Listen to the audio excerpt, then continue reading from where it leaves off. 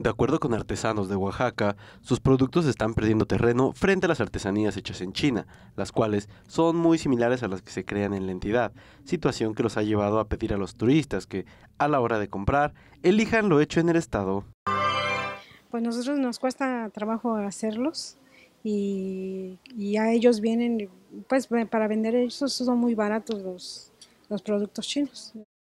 Pues es que en sí no conozco los chinos, los, alebrijes chinos, pero yo digo que no tienen el mismo valor que los que, tenemos nosotros, ¿no?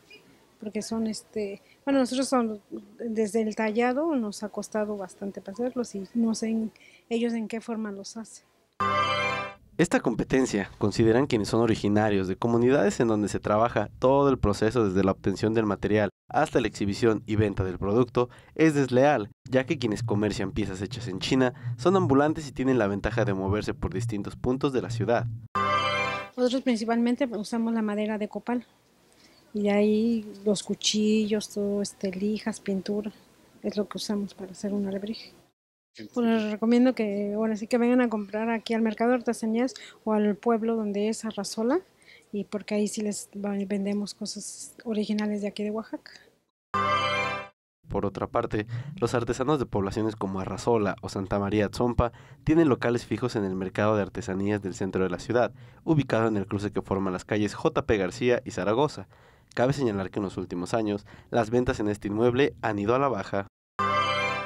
Pero ahí es un poco difícil porque sí, este, se parecen bastante a los de aquí de Oaxaca, pero sí tienen un poco más, este, están más, están, los de nosotros están bien detalladitos y todo.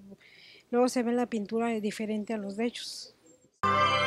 La diferencia entre un producto chino y uno artesanal se ve en que, ¿cómo te explico?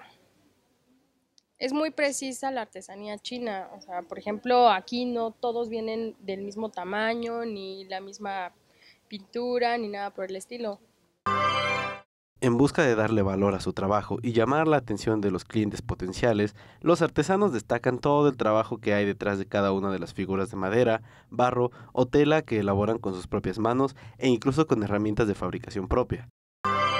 Además, son menos durables, son muy frágiles y eso, en los bordados igual se nota mucho porque se nota cuando algo es este hecho por una máquina, ¿no? Igual, o sea, estos igual son una máquina, pero la gente todavía lo hace, ¿no? Tiene que hacerlo con la máquina y todo eso. No es una máquina en sí la que trabaja.